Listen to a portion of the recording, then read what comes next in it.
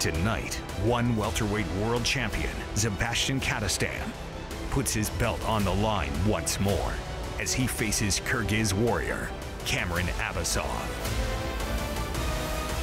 And Dutch masters collide in a much anticipated rematch.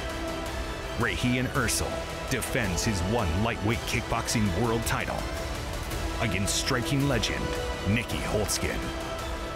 One Dawn of Valor, live from Jakarta, starts now.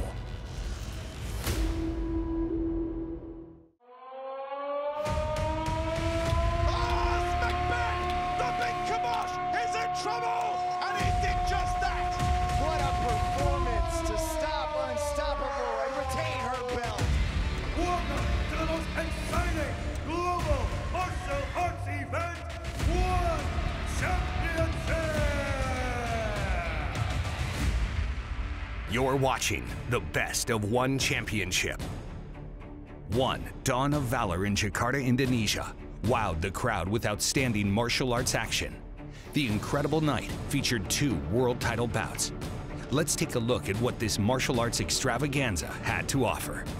In the main event, one welterweight world champion, Zebaztian Kadestam, put his belt on the line against formidable grappler and boxer, Kiamrian Abbasov. Let's join this action-packed competition in round five. As you try and open up a chink in the armor, great sportsmanship and respect. Two highly honorable athletes.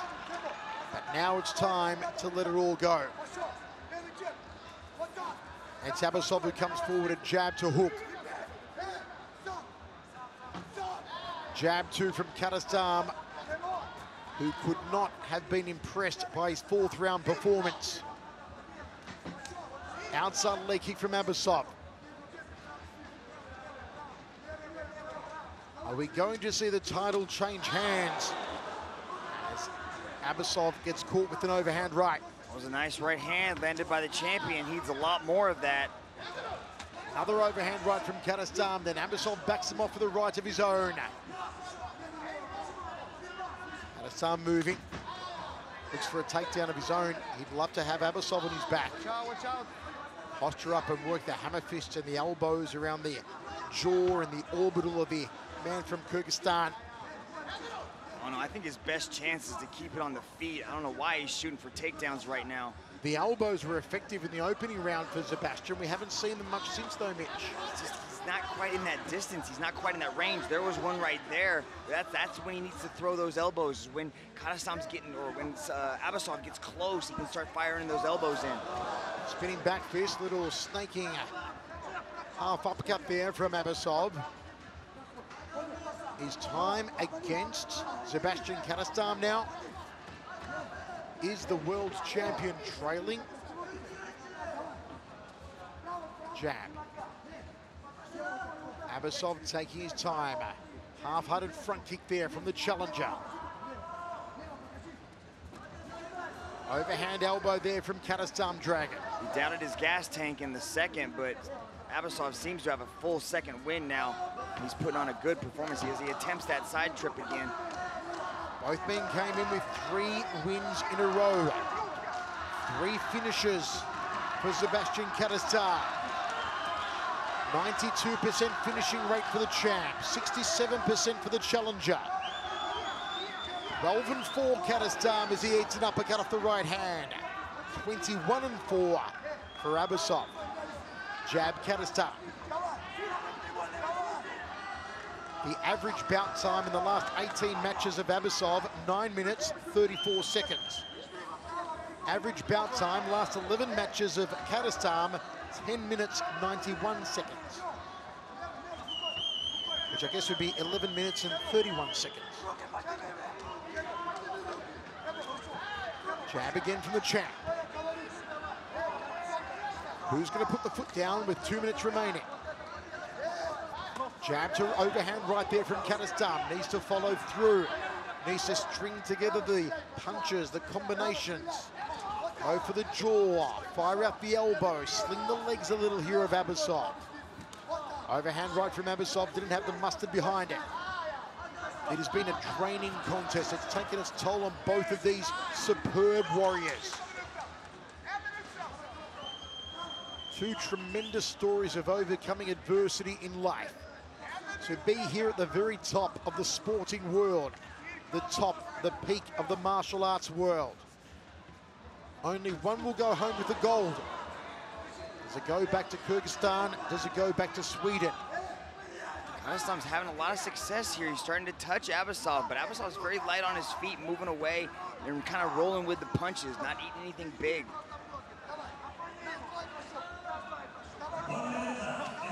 Left hook there from Kadestam. Under a minute remaining now. Switcher starts to southpaw. Now back to orthodox. The crowd want to see big tub thumper in the hands of Kadestam. Has he got it left in him? Can he bridge the gap as Abbasov dances away, now comes forward. Abbasov for about a single leg. Just to keep Kadestam guessing. Half a minute now. Kadestam's got 30 seconds. He can't just continue to dance like this, throwing these little pop shots. He's got to put some hurt on these punches. Abbasov had two big rounds. That third and fourth round were gigantic for Abbasov. Uppercut Overhand right there from Kadestam. Straight right hand to the jaw. Left hook from the champion. Trying to put the points down. Trying for a big finish.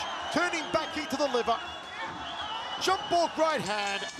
And it's the end of an absolute battle between these two welterweights. How do you score it, folks? Do you have it for Kadestam? Do you have it for Abbasov? Both men taking punishment. I'm surprised that Kadestam didn't leave the leg kicks out after having some success with them in the opening round. Also the elbows. Two of the prime weapons very early on sort of fell away from the toolkit of Zebaztian Kadestam.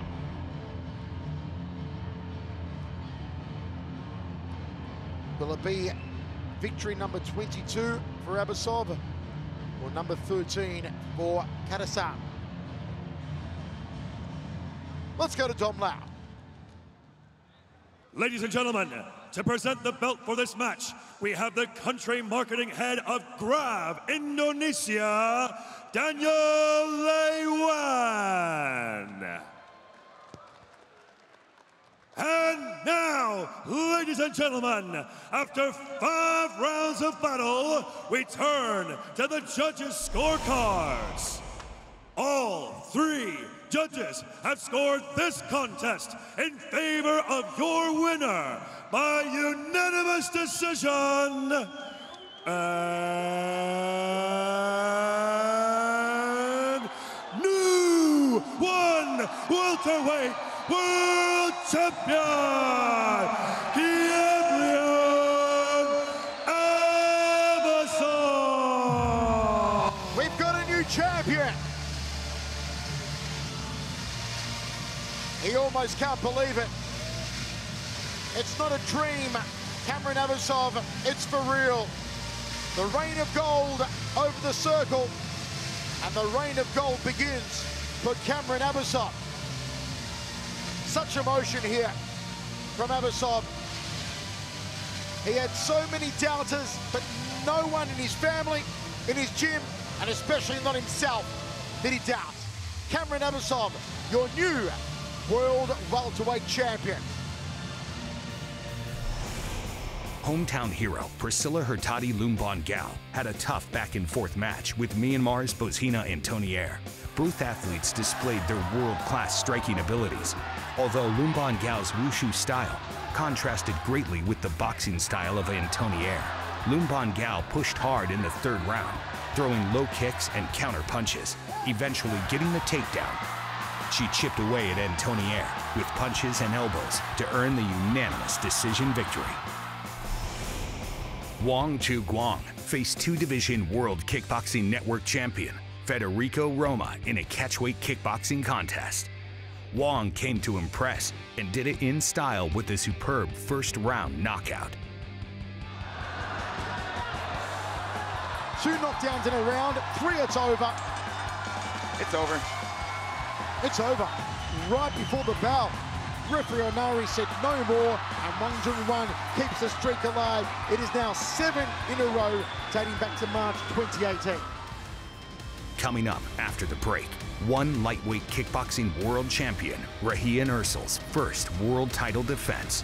You're watching the best of one championship.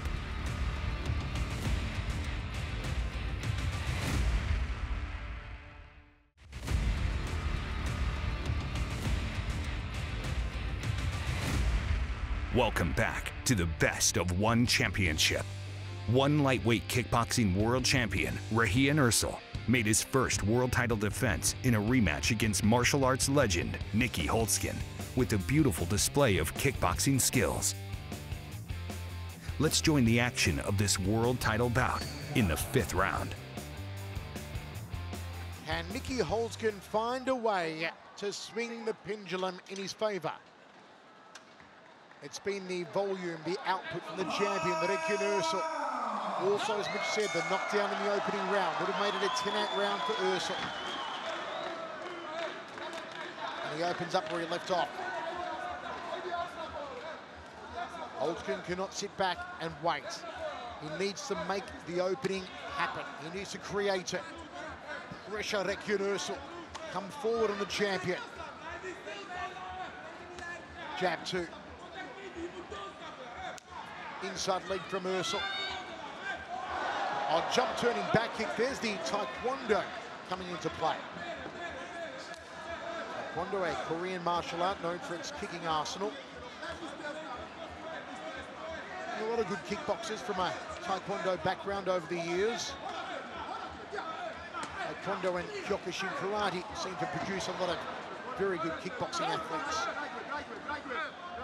Holzken looking to get on the inside, wants to be in the phone booth with Regiel. Good front kick there from the champ.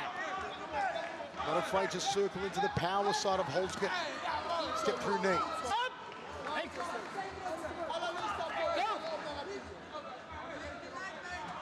Holzken backing up Eesel.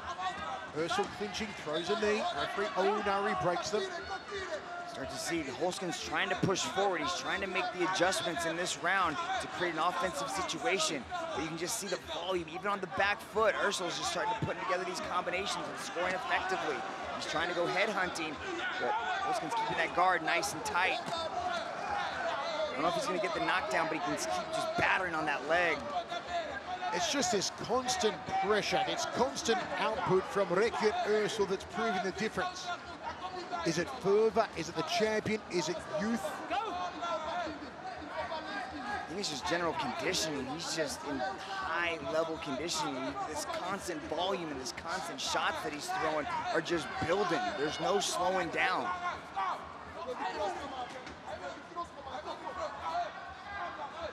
Eesel, nice tight guard. Full extension on the leg kick. Holzken has got to sense the time is against him now. Every time Eesel steps in with the knee, it clinches up, so there's no counter striking on the inside from Nieky Holzken. This is not only volume and output from Regiel Eesel, folks, this is also a cerebral contest. This is a very high IQ on the young world champion. These shots are just so accurate as well. Every single one, just pinpoint accuracy, especially that leg kick. You can start to see the, the superficial damage is starting to accumulate on that inside leg kick. Now it's starting to take the leg from him. He's riding a 15-match winning streak dating back to May 2017, including seven knockouts. I believe the streak's about to go to 16. Regiel Eesel, a phenomenal performance against Nieky, the natural Holzken. Regiel Eesel put together a very good performance. Nieky Holzken just constantly coming back, but then he goes ultra fancy, throwing the jump spinning back kick, just barely missing the head. If Nieky Holzken had his hairdo of old, it would have cut the hair of Nieky Holzken, but a good performance by both these guys, constantly exchanging, trading big shots, but the pressure of Regiel Eesel and the knockdown in the first could be the difference maker. Wow, Regiel Eesel, you can see why he's been so impressive and taken the kickboxing and Muay Thai world by storm in the last two and a half years. He moved to the Netherlands as a four-year-old from Paramaribo, Suriname in South America. Does he retain the championship tonight in Jakarta, Indonesia? Holzken in his 17th year as a professional kickboxer. His father time catching up with Nieky Holzken. Let's go to Tom Lau and find out our winner. Ladies and gentlemen, after five rounds of battle, we turn now to the judges' scorecards. All three judges have scored this contest in favor of your winner by unanimous decision. And still one lightweight kickboxing world champion,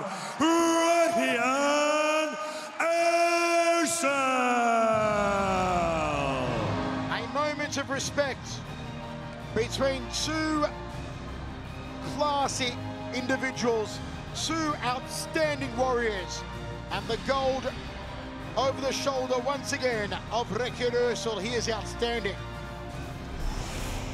Brazilian heavy hitter John Lineker faced off against Muin Gafurov with a dominating performance. From round one, Lineker displayed power, stumbling his opponent with an early low kick. Lineker soaked up the kicks that Gafurov threw at him and replied with a stinging overhand right that sent a warning to his rival. In round two, Gafurov switched tactics and shot for a takedown, but it almost cost him the bout when Lineker caught his neck and sank in a guillotine choke. Gafurov managed to break free. Lineker's left hooks and right overhands drove his foe backward. Though Gafurov attempted to take the Brazilian to the canvas on occasion, Lineker's sprawls frustrated his opponent. Round three was another dominant five minutes for Lineker. His boxing easily shut down his opponent's offense. And like he did in earlier rounds, Lineker was able to frustrate Gafurov by stuffing his takedowns. After three dominant rounds, Lineker earned the unanimous decision win. Mark Fairtex Abelardo entertained the crowd with a great performance against China's Ading Jumei. Abelardo opened up with chopping leg kicks at the start of round one that landed with force on his rival. Jumei fired back with his jab cross and tried to impose his boxing attack, but he was outgunned by the powerful Kiwi, who blasted him with hard right hands. Jumei kept firing back at his foe throughout the final five minutes, but Abelardo's low kicks and left hooks to the body crushed his resistance. By the time the final bell rang, there could be only one winner on the judges' scorecards, and the Fairtex representative had his hands raised. After the break, hometown hero Stefer Rahardian. You're watching the best of one championship.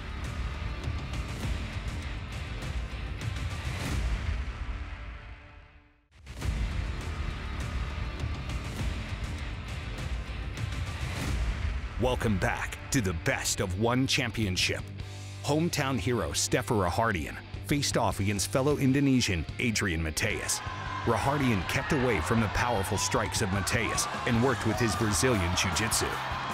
Mattheis come out with guns blazing to kick off the final round. Another round of near total control followed. And the emotional Rahardian was rewarded by all three judges on the scorecards. Pieter Buist had to make it through some early adversity against Antonio Caruso. But as soon as he started to impose his striking in the second round, the Dutchman looked fantastic. Buist landed several crunching knees on his opponent before a hard right uppercut put him on wobbly legs. Buist tried to finish with a volley of punches, but Caruso survived. Buist was still fresh in the final round, and he enjoyed a spell of control on the ground. But his most impressive work came when he landed more punishing knees to the body and head. His work gave him a clear-cut decision from the judges. Flyweights Abro Fernandez and Rudy Agustian felt each other out on the feet for much of their first five minutes in the circle. But the contest came to life when Fernandez started to work his grappling in round two. Fernandez dragged his opponent to the floor and aggressively pursued a TKO with punches and elbows from the mount. He then came close to a submission, first with a rear naked choke and then an armbar. It only took 15 seconds for the 29-year-old to bring the bout back to his world in the final frame, and he continued to overwhelm Agustian with ground and pound, as well as several more choke attempts. The finish was just beyond Fernandez's reach, but he took an impressive unanimous decision. In the lightweight division, Kazuki Tokudome controlled the action for all three rounds against Johnny Nunez. Finishing the bout with a takedown, he chipped away with short punches and elbows to claim a unanimous decision victory. In an all-Indonesian flyweight battle, all the early pressure came from Egi Rozten, as Elipitua Siregar seemed hesitant to engage. However, that all seemed to be part of his plan to encourage his opponent to dial up his aggression and overcommit to his strikes. Siregar takes the back of Egi Rozten, gonna try and sink in a choke in the opening round. Oh, there's the rear naked choke. It looks like that house of cards is coming crumbling down. Can he find the finish? He's found the finish. Made it look easy in the end. Muay Thai flyweight Taiki Naito enjoyed an excellent one Super Series debut as he put boxing combinations together on Alexi Serepisos. And both legs, both shins, body shots now, uppercuts. Need to deliver. Referee Onari says no more for Alexi Serepisos. It's a TKO third round for Taiki Naito. He is ultra impressive dragon. Angelo Bimawaji's plans to grapple were shut down by a relentless barrage of knees from Adi Parianto that ended their strawweight bout in just 64 seconds. Parianto back up to the feet is Bimawaji, pressed up against the circle. Takedown defense so far. Parianto dominant inside that clinch. He hurt him with the knees. Oh, he hurt him well. First round finish there for the Zen walk, and he made it look very easy. An aggressive start from Adi Parianto, never relented, and the knees folded in half the Unicorn King. Biggest win of his career so far for Adi Parianto over a deflated Unicorn King, Angelo Bimawaji.